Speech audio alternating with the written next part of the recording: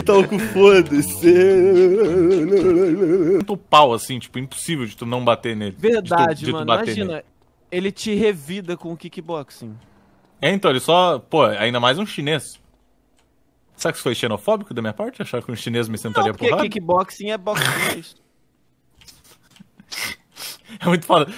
Cara, será que, será que é. Como é que é? Xenofóbico, achar que chinês Não. faz coisa de chinês? Não, não é xenofóbico a palavra, mas será que é ofensivo eu dizer pra um cara, porra, tu é chinês?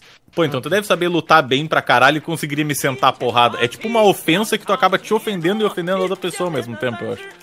Não tá ofendendo, na real. Se tu tá falando que o cara sabe lutar, tu tá falando bem do cara. Não, mas Não, tá mas eu- falando que ele sabe lutar porque ele é chinês. Pois é. Mas aí por um lado. Por um lado. Se eu fosse um chinês, eu ia falar. Até porque eu não ia ser mudo. Se eu fosse um chinês, eu ia falar. Juan San. Não, Significa, beleza. eu estou de Eu- fato Eu ia ofendido. falar uma coisa, mas eu desisti na hora. Então, o carteiro pensou e Esse- pensar. Aí o Vitor falou. O Vitor só chegou e foi.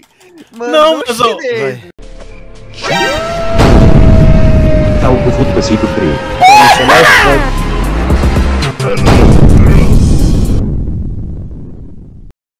Mas o a piada era, ele, se eu fosse chinês eu ia falar. Aí ele tentou falar, só que ele não sabe falar porque ele